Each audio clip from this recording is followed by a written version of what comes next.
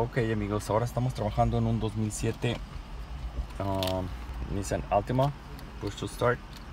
Vamos a, uh, vamos a hacer una segunda llave. Tenemos una llave original. Entonces lo que tenemos que hacer es apretar el lock o poner el seguro porque tenemos que hacer poner el steer lock.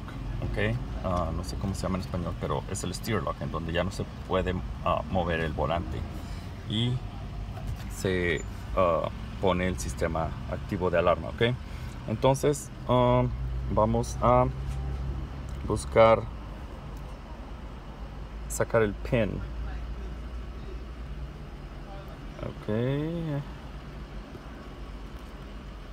Ok vamos a buscar el pin. Venimos a leer el pin que va a ser el 3338 en nuevos después de los 2009 ok 33 38 ok release. Oh, ahí está. Ok escucharon que se dio el clic y aquí nos dice que ya es uh, se hizo. Ok entonces nos regresamos a buscar programar llaves Smart System, sistema inteligente, que es este.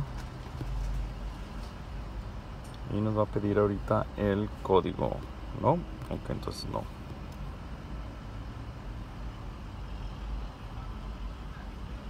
Oh. Nos pide que...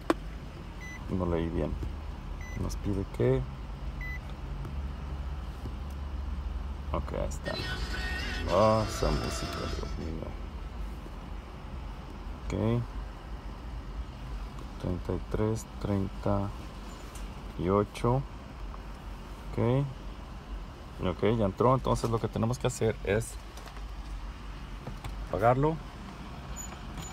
Poner cualquiera de las dos llaves. En este caso voy a poner la llave original. Otra vez aquí abajo. Vamos a ver cómo flashea cómo parpadea nuestro movilizador. Quiere decir que ya está programando. Quitamos esta llave, se apaga, ponemos la llave que vamos a programar, la nueva. volvemos a ver lo mismo cuando prendamos. Pum, pum, pum. Quiere decir que ya agarró la llave. La programación, sacamos otra vez la llave, se apaga, ponemos la llave con la que empezamos.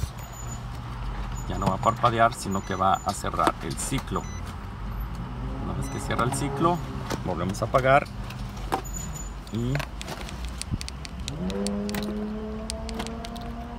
está la llave original y la llave nueva. Y ese es el sistema para agregar llaves inteligentes en Nissan